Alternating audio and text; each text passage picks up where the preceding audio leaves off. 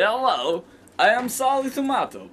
Many people say that is women name. I say no, it is tomato name. I'm just sat here on this nice patch of grass, waiting for tomato things to happen. Haha, yes, it is good times. Oh god, what is that? That is big! No! No, you cannot do that to me! No! I knew if I wait long enough, tomato thing happen.